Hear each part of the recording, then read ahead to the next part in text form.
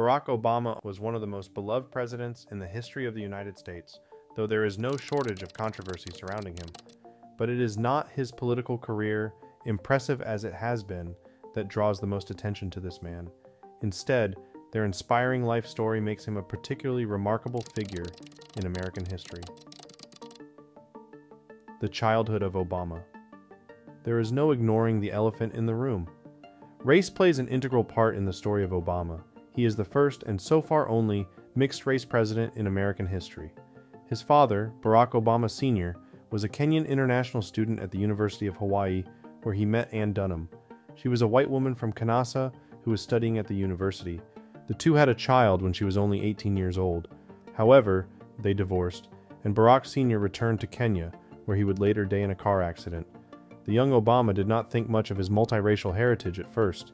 He later remembered that my father looked nothing like the people around me, that he was black as pitch, my mother white as milk, barely registered in my mind.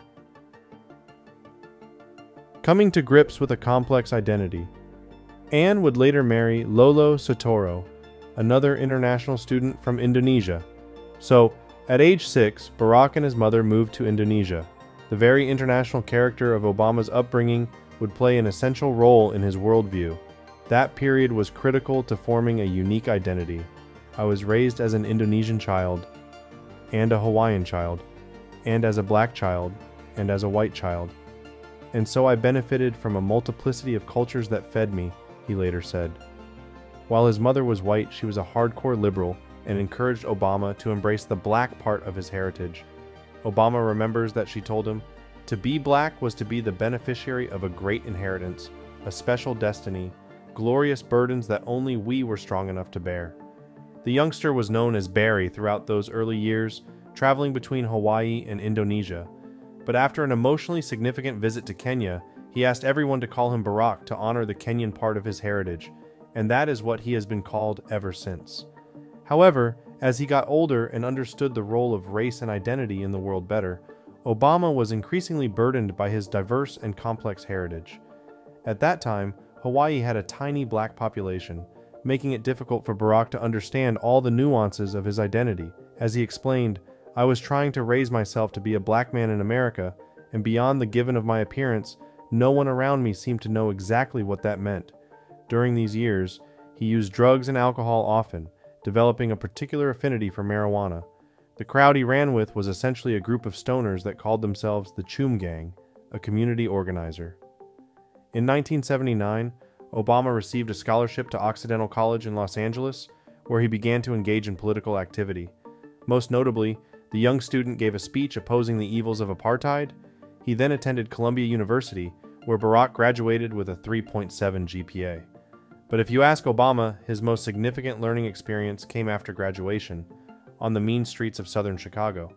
It allowed him to do good, but just as importantly, to understand the culture on the predominantly black south side of the city.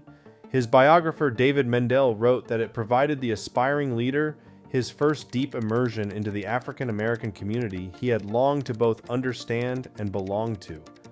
His goal was to help improve the conditions in local housing but that proved far more complex than he expected.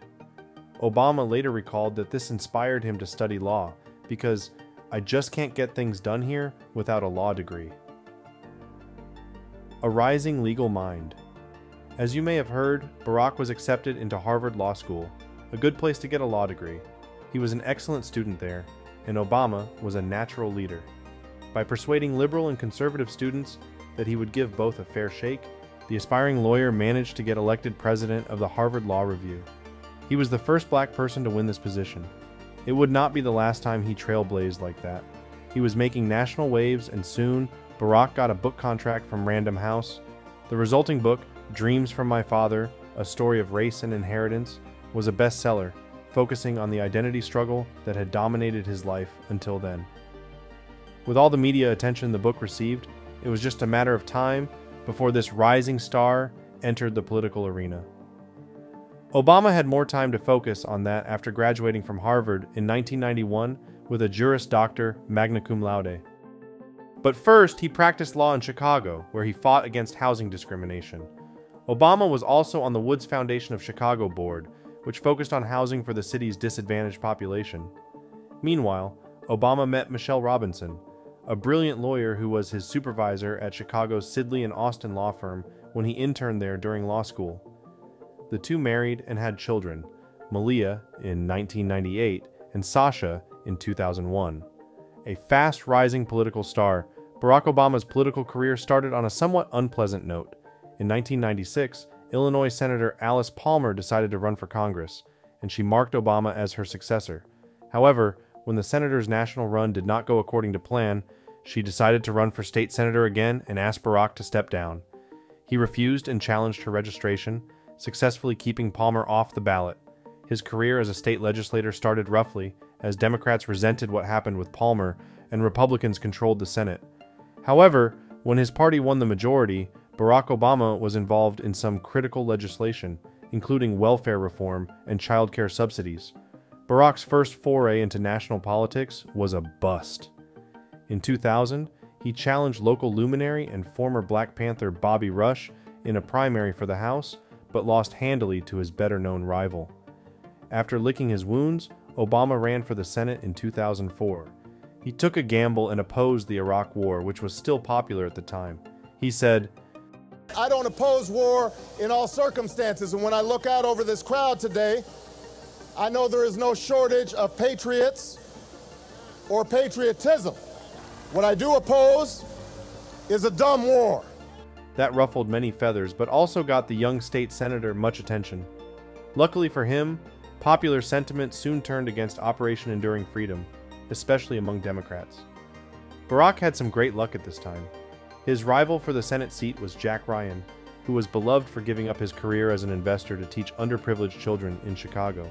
However, a scandal derailed Ryan's campaign, and Obama won handily becoming the first black president.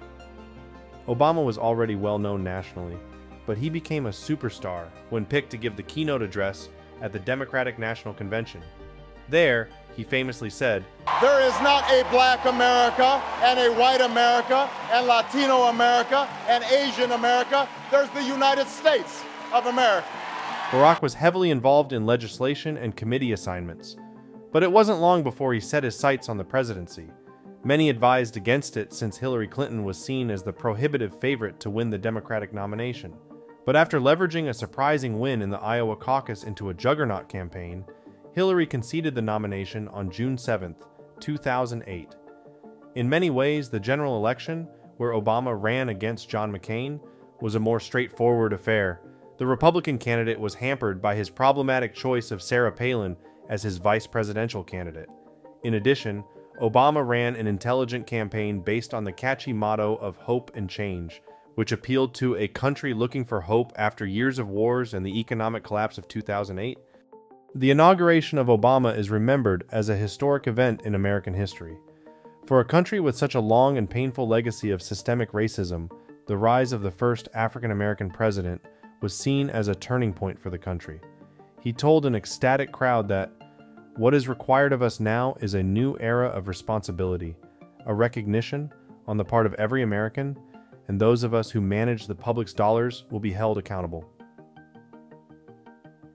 The presidency of Barack Obama. The legacy of Obama's two term presidency is controversial. He faced Republican control through most of his presidency. Meanwhile, his rivals later destroyed or hollowed out his main achievements the Affordable Care Act and the Deferred Action on Childhood Arrivals. Legalizing same sex marriage occurred on his watch and was one of the most significant changes to occur in America during this period. His most significant failures were in the field of foreign policy. Though he managed to secure a nuclear deal with Iran and the Paris Climate Change Agreement and assassinate Osama bin Laden, his inability to act decisively in Syria and Ukraine continues to reverberate globally today. Nonetheless, the country came out of what could have been an economic catastrophe with a lasting impact and was in relatively good shape. However, one cannot ignore the racial implications of his legacy.